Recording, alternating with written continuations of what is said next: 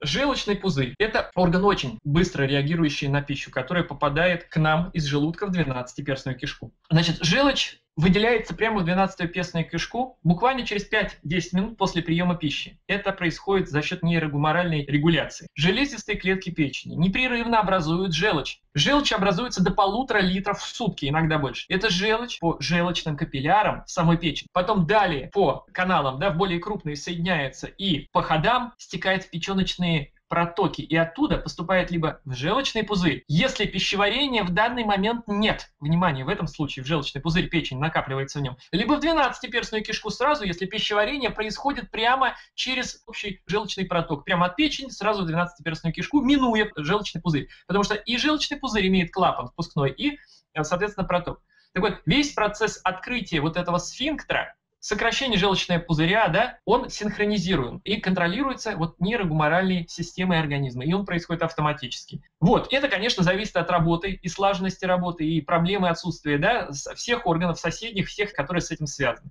Как пища поступила в кишечник, срабатывают рецепторы в слизистой оболочке кишечника. Сигналы поступают в центральную нервную систему, оттуда уже по блуждающим нервам, сигналы поступают к сфинктерам желчного пузыря, и желчного протока, вызывая их открытие и закрытие, соответственно, открытие в данном случае. Раскрытие сфинктера сопровождается сокращением желчного пузыря, и желчь выдавливается в 12-перстную кишку. Но сфинктер желчного пузыря после опорожнения, конечно, закрывается, а сфинктер общего желчного протока остается открытым на то время, пока идет процесс пищеварения, и желчь из печени может свободно, соответственно, спускаться в 12-перстную кишку. Как человек перестал есть, да, и пищеварение все-таки прекращается вскоре, то сфинктер общего желчного протока закрывается, а сфинктер желчного пузыря, наоборот, открывается, и желчь начинает собираться, накапливаться в самом желчном пузыре. Общий желчный проток, конечно, как я уже сказал, имеет сфинктер, который открывается, когда пища поступает от желудка в 12-перстную кишку, и закрывается, когда пища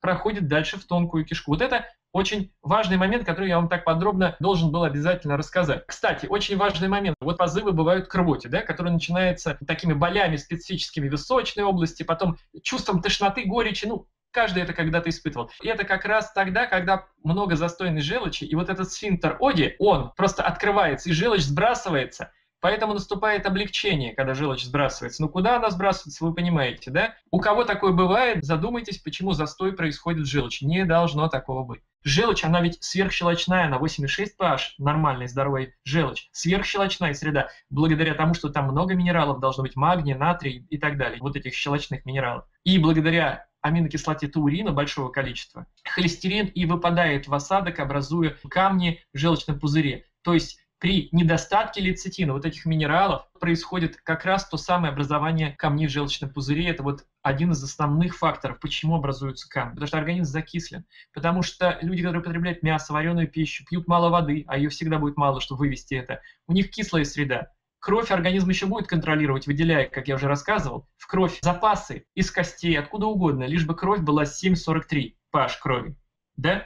А вот уже на остальное может не хватить. И если этих минералов в составе желчи не хватает, если она не такая щелочная, как должна быть в результате, то тогда будут выпадать камни, холестерин, он просто не будет перерабатываться весь, какой нужно. А вы теперь знаете, что холестерин нужен, но только при изменении вот этих обменных процессов в силу невежества человека и неправильного питания и образа жизни, вот это происходит. Да, а то забуду, как обычно. Я настоятельно рекомендую вам подписаться на мой данный канал в YouTube. Кто еще не подписался? И не забывайте нажать на колокольчик, чтобы не пропустить мои новые, очень важные видео. А нажав на колокольчик, вы будете получать уведомления о выходе моих новых видео. И не забудете их посмотреть, особенно те, которые будут вам интересны. Поделитесь моим видео в соцсетях, подпишитесь на мои сайты по здоровью и по продуктам, Конечно, если сочтете это нужным. Тогда вы будете получать важные рассылки, письма, уведомления. Желчный пузырь – это мешочек, это хранилище желчи. Но печень, да, вырабатывает много желчи, но, безусловно, желчь служит в основном для расщепления жиров, но не только. Значит, желчь делает жиры водорастворимыми, и тогда организм легко усваивает жиры. В нем не просто накапливается желчь, она в нем концентрируется. Через стенки желчного пузыря влага уходит, вода излишняя, и до 10 раз там концентрация выше, чем желчи той, которая непосредственно вырабатывается печенью. Учтите это. И поэтому, если у человека нет желчного пузыря, это вопрос серьезный, это не просто хранилище какое-то, и надо просто координировать, контролировать питание. А ведь эта концентрация тогда нужна, когда случайно или по невежеству, когда человек съел много той пищи, которая хоть как-то организм попытается расщепить, растворить, утилизировать, и для этого и нужна такая концентрированная желчь. К тому же, поймите, она же еще дезинфектор. Почему? Первый дезинфекционный барьер в нашем организме – это желудок, в нем pH полтора, сверхкислая среда. И многие вирусы, бактерии, грибки должны там погибнуть. Но они не погибают. Почему? Знаете? Потому что как у нас первое, второе компот, ну подумайте сами, что происходит, когда человек запивает компотом. Пища или водой запивает, она, недообработавшись ферментом, пепсином, желудочным соком, проталкивается в 12-перстную кишку, разбавляется, во-первых, кислота туда пошла, уже попала, понимаете, уже кислота в 12-перстную кишку, а там среда должна быть щелочная. А второй барьер, сверхщелочная среда, уже не имеет такого, потому что организм не может выбросить из желчного пузыря большое количество концентрированнейшей желчи. И тогда второй барьер защитный, дезинфекционный, тоже не работает. Поэтому таким людям надо есть действительно правильно, говорит, мало, порциями, но не постоянно, потому что тогда не будет работать процесс, ну скажем, синтеза нашей микрофлоры. И как все это между собой, посмотрите, важно и связано, правда? Конечно же. Так вот, все почти болезни печени начинаются с того, когда желчные протоки в печени начинают забиваться желчными камнями, которые изменяют обмен веществ печени. Ведь затрудняется кровообмен в дольках, понимаете, клетках печени. Тогда снижается и выработка клетками печени желчи, а это приводит к нарушению, соответственно, процесса пищеварения. И вот этот идет замкнутый круг, что называется. Какие же есть функции желчи? Во-первых, это вещество является пищеварительным ферментом в жировом обмене само по себе. Желчь – это катализатор всех ферментов поджелудочной железы, то есть она ускоряет реакцию, и она как бы активизирует ферменты поджелудочной железы, те, о которых я говорил, да, в том числе трипсина, который должен разбирать, доразбирать уже полуразобранные белки до аминокислот. Желчь – это концентрат щелочных минералов и наш спаситель, поскольку нейтрализует кислоты из желудка, которые все равно проходят с пищей полупереваренной. И это, конечно, дезинфектор 12-перстной кишки от гнилостной микрофлоры, если это работает, если концентрация достаточно, если все в порядке, если хватает щелочных минералов, если человек не закисляет свой организм. Дальше. Желчь, она необходима для всасывания жирных кислот и жирорастворимых витаминов. Каких? Витамин А, Е, В и витамин К. То есть вся группа витаминов В. И необходима желчь для этого, для всасывания жирных кислот и тех витаминов, что я перечислил. Это очень важно, правда?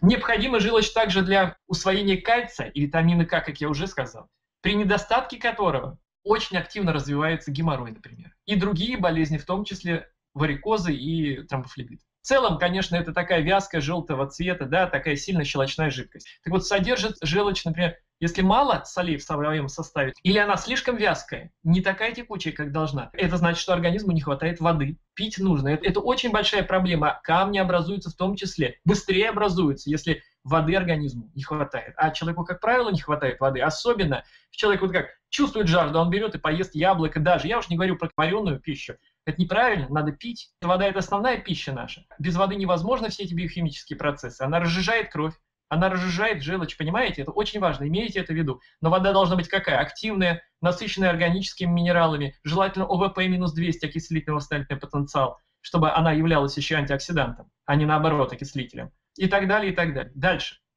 Если жир не полностью переваривается и усваивается, то часть его остается в тонком кишечнике. И попадая в толстый, вот эти остатки недопереваренные, они бактериями уже разрушаются, кстати, паразитируют в том числе разные патогенные штаммы бактерий в тонком и в толстом, в большей степени в том числе. Многие в жире нерастворенном просто прячутся, и вирусы многие в лимфу там, например, транспортируются, попадают именно так. Так вот, это все выводится, конечно, скалом, да, и все бы было ничего, если бы не взаимосвязь этого явления и усвоение кальция. Да? Если не переваривается жир до конца, не усваивается кальций. Имейте это в виду. Вот это очень важно. Тремя прям я вот хочу пометить как бы условно восклицательным знаком. Не переваривается жир в полной мере, не усваивается кальций, оттуда проблемы в том числе.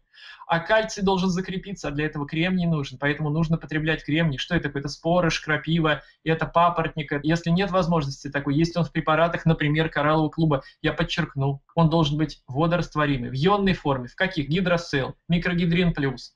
Если не хватает кальция, организм берет его откуда? Из костей. А особенно если организм закисляется из костей, кровь он должен держать в постоянной константе 7,43, да? Оттуда остеопорозы, ну и так далее. Значит, если стул имеет коричневатый, такой зеленоватые бледные оттенки, то это значит, что поступление желчи в кишечник затруднено и замедлено. Как правило, это из-за камней, которые препятствуют свободному току желчи. Она еще может идти, но очень слабо, заузится просвет, может и такое еще быть. Так вот, желчные соли превращают, это тоже важно знать, нейтральные жиры в эмульсию, разбирая их на мельчайшие как бы капельки. В результате этого их поверхность многократно увеличивается, как и площадь, собственно, соприкосновения с ферментами. И тогда ферменты могут быть активны, жиры легко перевариваются, легко всасываются. Тогда повышается активность, соответственно, и поджелудочной железы, и кишечной липазы, и пищеварение идет спокойно и нормально. Далее эти соли, скажем, стекают желчь да, вниз по кишечнику, реабсорбируются в нижнем отделе тонкой кишки, имейте в виду очень интересный момент, который вы, наверное, нигде не слышали, и заново также возвращаются в печень, а затем уже опять желчный пузырь и в составе желчи концентрируется. То есть видите, как организм экономит, впускает, всасывает, опять строит. Это круговорот. Это тоже как круговорот белков. 95% белков вторично используются. Конечно, нельзя сказать, что система замкнутая. Мы едим, мы выделяем. Но теоретически она может быть ближе к замкнутой. Желчные камни, они состоят из чего вообще? Из холестерина, кальция, поэтому твердые, из пигментов, поэтому они окрашены в разный цвет, да? Других минералов, естественно, слизи, бактерий, паразитов, остатков их трупиков там, и токсинов, ну и прочих компонентов, соответственно. Желчь, она должна быть текучей. Если соотношение холестерина, да, например, и лецитина, очень важная составляющая часть, и желчных солей один к трем. Лецитин, кстати, очень важен, если нарушен процесс желчеобразования, если вы лечитесь от желчных камней, хотите их растворить, он очень важен в процессе пищеварения, он будет помогать поддерживать желчь, и поэтому я рекомендую его применять. В случае отсутствия желчного пузыря, желчь тогда из печени постоянно будет стекать в 12-перстную кишку прямо непосредственно от печени. Постоянно будут раздражаться стенки тонкого кишечника. Имейте это в виду. Не правы те, кто говорит, ничего страшного, если нет. И это, вот так постоянное раздражение приводит к постоянному обновлению, как ожоги происходят, понимаете, слизистой оболочки многих клеток. А поскольку там, где идет постоянное обновление в результате раздражения, да, ожогов, то это может привести к раку тонкой кишки. Поэтому обязательно переходите на адекватное питание, чтобы вам требовалось меньше желчи, во-первых, для того, чтобы переваривать эту пищу. Меньше жирного ешьте, но это само собой. Вы поняли, что холестерин так нужный нам, любой, полезный, вредный, он образуется, если организму он нужен в результате расщепления растительной живой пищи прекрасным образом. Значит, теперь удалили, если Далее камни активнее забивают саму печень, понимаете? Если вы не изменили ничего практически в своем питании, то уже камни будут образовываться не в желчном пузыре, а в самой печени более интенсивно. Если дискинезия, значит что? Значит камни. Тут, кстати, лецитин, я подчеркну, необходим. Его в этом случае, если есть камни, если есть камни в протоках, где угодно, вот стандартных, которые в коралловом клубе, до 8 ампул в день. 2-3 раза в день по 2-3. В процессе приема пищи. Помните, да, не надо желатин это есть, просто выдавливаете в салат, ну, допустим. Камни в желчном пузыре становятся еще тому же субстратом. Как помните, я рассказывал про ураты и другие соли, там, мочевой кислоты, когда в почках, вот, например, разрезают камень, а внутри уреоплазма. И вот она питается уратами, она их собирает, притягивает на себя. Вот то же самое здесь. Значит, камни в желчном пузыре становятся субстратом, приютом для многих видов вирусов, например, бактерий. При массовом попадании в кровь, при проявлении повторных, тем более, возникает, например, хронический вот как раз гепатит, и когда поражается, как я уже рассказывал, при размножении вируса, когда наши клетки их синтезируют в огромных количествах, вот это происходит. А этому способствуют камни в печени самой в том числе. Повреждаются сосуды при этом, если есть камни, печеночной ткани. Боли, когда камни идут адские. И организм камни продвигает вперед на выход. Он пытается это сделать. При этом возникает как раз та самая сильная боль, потому что они царапают, повреждают стенки, которые изобилуют рецепторами вот этих протоков желчных. Да? Эта боль и является печеночной коликой. Вот что это такое. Это не печень болит, это как раз камни идут, неважно где по печеночным микроскопическим желчным протокам, по крупному общему протоку. Вот это и есть. Если болит сильно, режет, то это идут камни. Или они застряли и могут просто эпизодически колоть при движении, при разгибании, сгибании на печень давит и, соответственно, давит и на камни, которые притиснуты в протоке. Более того, при этом процессе, когда происходит спазм, сам желчный пузырь растягивается, а если он набит камнями, представляете, что происходит? А вот и э, болезнетворные вот эти сокращения, спазмы, спазмируют и сосуды, и стенки. Скажу так, что если при движении вот этих самых камней, внутренние оболочки желчного пузыря, стенки желчного пузыря, протоков, раздражаются и поверхность, и повреждаются их поверхности, безусловно, при этом, то происходит воспаление этих оболочек. что и называется холециститом. Это раздражение протоков, стенок желчного пузыря камнями. Очень часто эти воспаления сопровождаются и даже вызываются именно стафилококками, патогенной кишечной палочкой. А вы помните, что кишечной палочки много видов, и в том числе есть полезные для нас, симбиотические, которые, например, кстати, должны, но не у всех это происходит, к сожалению, они должны синтезировать витамин В12 в том числе. Не только его, но в том числе. И это происходит у кого-то, но не у всех. Лямблии тоже могут быть причиной этих воспалений. Некоторыми паразитами это может провоцироваться, даже аскаридами анкилостомами, они могут жить в печени, в желчном пузыре, через него они могут попасть в поджелудочную железу, вызывая в том числе там проблемы, вплоть до некрозов. Про паразитов имейте в виду сразу. Значит, анкилостомы, китайская двуустка так называемая, есть кошачья двуустка, да, это аписторхи, а есть китайская двуустка, вот о чем я говорил, это можно заразиться через ракообразных, раков, крабов. Аписторхи очень серьезная вещь. Они могут жить в организме до 40 лет. То есть они в организме не размножаются, но жить до 40 лет могут. Поэтому имейте в виду, обследуйтесь, сделайте иммуноферментный анализ крови, Прям придите в клинику и скажите, я хочу сделать иммуноферментный анализ крови на аписторхов, китайскую двуску, анкилостому, на скорит, на лямблей, на такие-то, такие-то вирусы. Какие вирусы, например? Эпштейн-Бара, герпес, в том числе патогенный шестого типа, цитомегаловирус, плюс гепатит, ЦБ там, А тоже. И тогда будет картина ясна, что делать. То есть как начать. И вот в методиках я своих описываю, как при том варианте, при том. Я все это объясняю. Паразиты и простейшие, они являются часто причинами образования застоя желчи. И образования камней, конечно, из-за нарушения оттока желчи. Сгущение идет дальше, песок и камни. Высокая концентрация желчи, если через стенки пузыря это происходит, когда она не может выйти, и она сверхвысокая, и она просто идет интоксикация, потому что через стенки желчного пузыря желчь попадает в кровь. Не в кишечник, куда она должна попасть, 12-перстную кишку, а попадает в кровь, происходит детоксикация, и происходит желтизна кожи, склероглаз, ну о чем мы говорили. Бывает холецистит какой? Хронический, острый. Острый – это интенсивные, резко возникающие боли в правом подреберье, характерные, которые отдают в правое плечо, правую лопатку, правую ключицу. Язык может покрыться серым налетом. Это очень характерно. Напрягаются мышцы брюшной полости, болезненность в области печени. При гнойных, гангренозных формах происходит интоксикация организма с такими проявлениями, как, например, головная боль, сухость во рту, анорексия, лейкоцитоз происходит, повышение уровня сахара в крови наблюдается. Если из-за камней секреция желчи резко уменьшается, то пища, поступающая от желудка в 12-перстную кишку, где должна в должном количестве смешаться с желчью панкреатическим соком,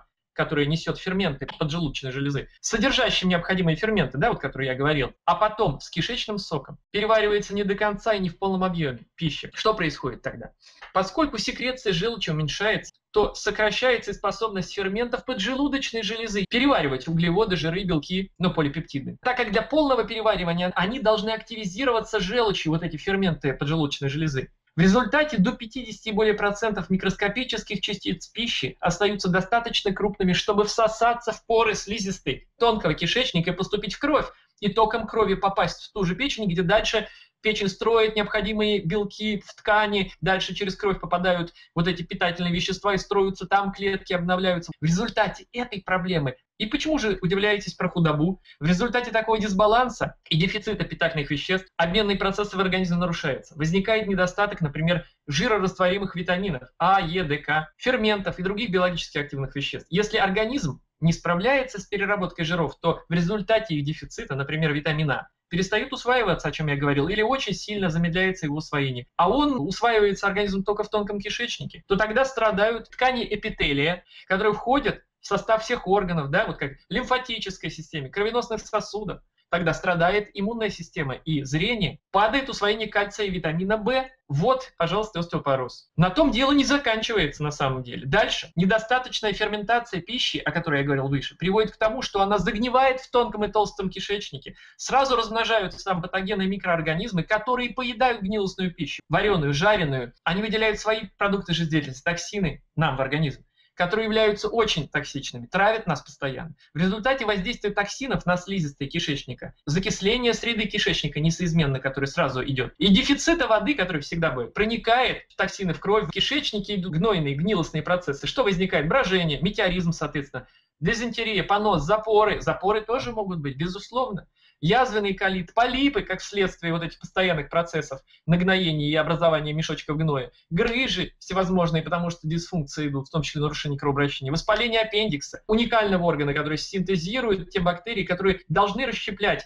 растительную живую клетчатку, и на выходе уже образуются витамины, в том числе B12. Не всех этот процесс идет просто, я говорю. И аминокислоты, все, без исключения. Академик Уголев давно это доказал, и не только он. Происходит непроходимость кишечника, может быть заворот кишок так называемый, а также болезнь крона. Первопричиной был что? Неправильный образ жизни, мало движений, стрессы, питание, особенно на ночь, питание мясной пищи, жареной, вареной, ну особенно, конечно, жареной. Вот это неадекватное питание. Это привело к образованию камней в самой печени. Дальше цепочка тех явлений, что я говорил. Помните, ведь достаточное свободное выделение желчи способствует не только качественному пищеварению, но и дезинфекции кишечника от грибков, бактерий, вирусов, многих паразитов, но не всех, к сожалению. К сожалению. Паразиты это никак с иммунитетом вообще не связано. Поэтому два барьера, помните, кислота желудочного сока и сверхщелочная среда желчного пузыря, берегите его. Конечно, щелочная среда, безусловно, и панкреатических соков. И она тоже дезинфицирует кишечник, 12-перстную кишку. Конечно, просто там надо будет корректировать у тех, у кого нет желчного пузыря, питание. У толстых людей наблюдается холестероз так называемый, когда, соответственно, холестерин откладывается в слизистой оболочке желчного пузыря, и в результате чего происходит нарушение сокращений желчного пузыря, нарушение работы лимфатической системы,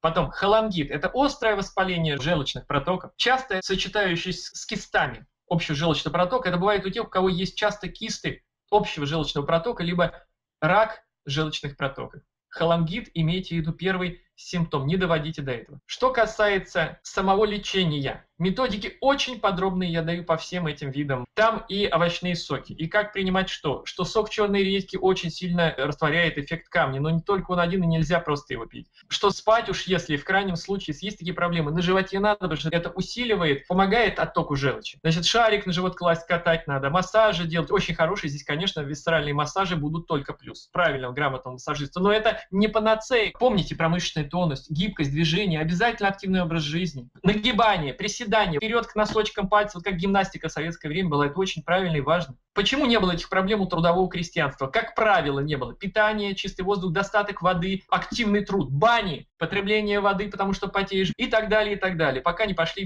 извращения в питании, алкоголь и так далее, все было более-менее прекрасно. Все болезни эти стали молодеть. Поэтому вот, а дальше болезнь печени, болезнь всего организма. Подробнее методички увидите, кому будет нужно, интересно. Поймете все. Методики мои помогут вам излечиться 100% если вы примете комплекс мер, прочтете все несколько раз и напишите себе план действий для себя лично.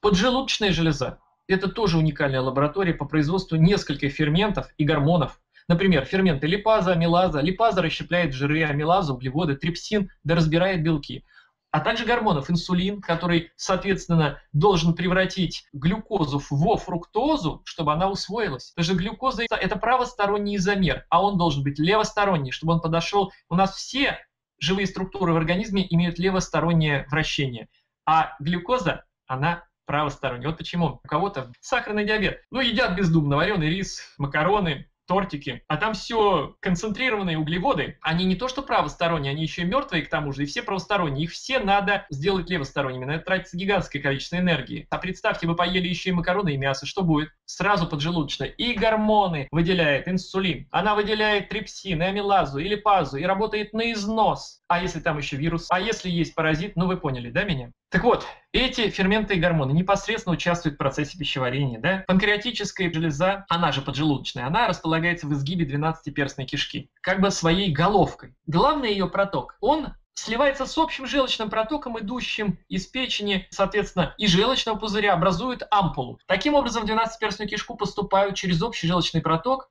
сразу, если съедаемая пища первое, второе, третье, все подряд, инсулин, желчь, панкреатический сок вместе с трипсином, липазы, амилазы, и, конечно, все это вместе. И вот мало того, что поджелудочный износ работает, особенно если в питании присутствует, как я уже сказал, мясо, тем более жареное, это вызывает что? Это вызывает износ самой поджелудочной железы, запотребление мяса, животных белков вызывает автоиммунные процессы. И в такие заболевания, как сахарный диабет первого типа, муковисцидоз, любые, так сказать, иные поражения своим же иммунитетом клеток родных организмов, это все автоиммунные процессы. Это все происходит из-за накопления гнойных токсинов, ядов, из-за потребления животной пищи, денатурированной в том числе, тем более. И вот организм начинает просто поедать свои клетки. Как я подробно это разбирал про молоко, да, кому интересно, посмотрите обязательно. Но здесь речь о другом. Если в желчном пузыре, да, соответственно, есть камни 7-12 мм, они пошли.